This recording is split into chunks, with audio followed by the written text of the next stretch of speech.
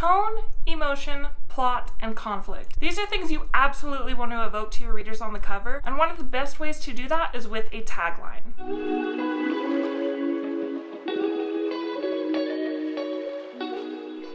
Hello friends, welcome back to another video. If you are new here, I'm Megan, and here we talk about all things books, writing, grammar, and more. If you haven't already, please make sure to give this video a like, it helps me out a ton. And don't forget to subscribe and ring that bell so you're notified every time I upload a new video. Alright, so let's get into this. So, what exactly is a tagline? Taglines are short sentences on the covers of books, meant to be enticing enough to get you to pick up the book.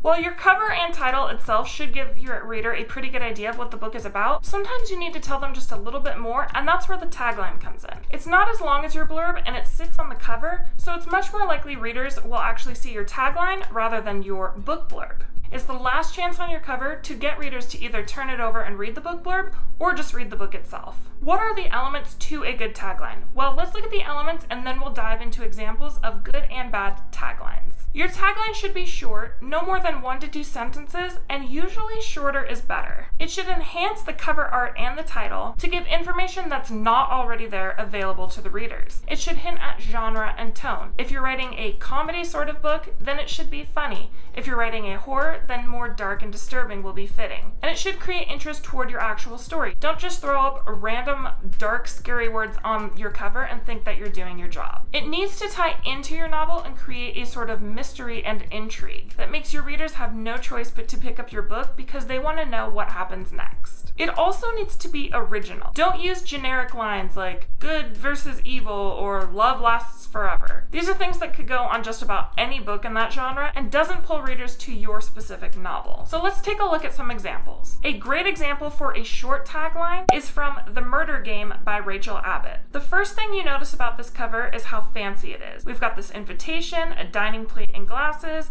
and a calming blue color. In bold red is the title, The Murder Game. From this, I can make several guesses on what the book is about. Perhaps it's about elitists playing a game of murder with their staff, or maybe it's about a game involving murder that lower classes can play for an enormous prize and the chance at riches. But add in the tagline, Everyone must play, and the book becomes much darker and more intriguing. It tells me my previous assumptions can't possibly be correct. The stakes are very high for our characters, and it's most likely a thriller, which means I'm in for tension and twists. Now for a bad example for the short tagline. This is from the movie Ghost Ship. The tagline is Sea Evil. This is a really, really bad tagline. It doesn't add any new information that we couldn't already get from the title and the cover, and the pun sets a tone for a comedy horror rather than a supernatural horror. A good example for enhancing the cover and the title is The Wicked Girls. The cover shows us this mysterious settings with three young girls who seem to be out playing in the neighborhood. The title tells us these girls may not be so good. On their own, this is not a book I would really care to pick up, but we get the best look into this story from its tagline. One summer morning, three little girls met for the first time. By the end of the day, two will be charged with murder.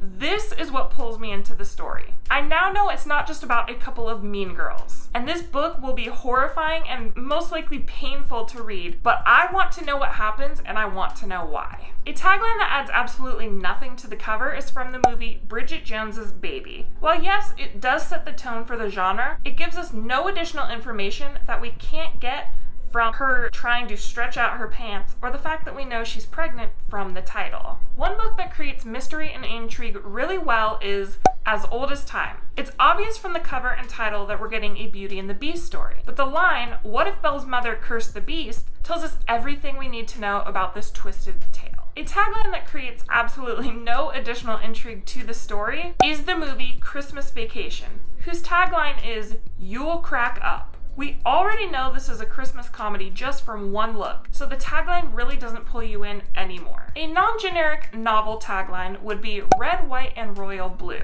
True love isn't always diplomatic. It tells us the story is beyond just the title and cover, and it shows us the genre and tone. And it's definitely not your stereotypical generic romance line. I don't know any other book that would have this tagline. This is very original and specific to this novel. And one of the most generic taglines I have ever seen is from the movie Jaws the Revenge, which reads, This time it's personal. This tagline could go on just about any book or movie with action, drama, horror, or mystery. It's not creative and it's not specific enough to pull the reader in and create intrigue. So there you have it, my best tips for writing a tagline with examples on how you should and shouldn't follow these tips. If you found this video helpful, please make sure to give it a like and subscribe for more bookish and writing related videos. Thanks for being here and I'll see you next time. Bye!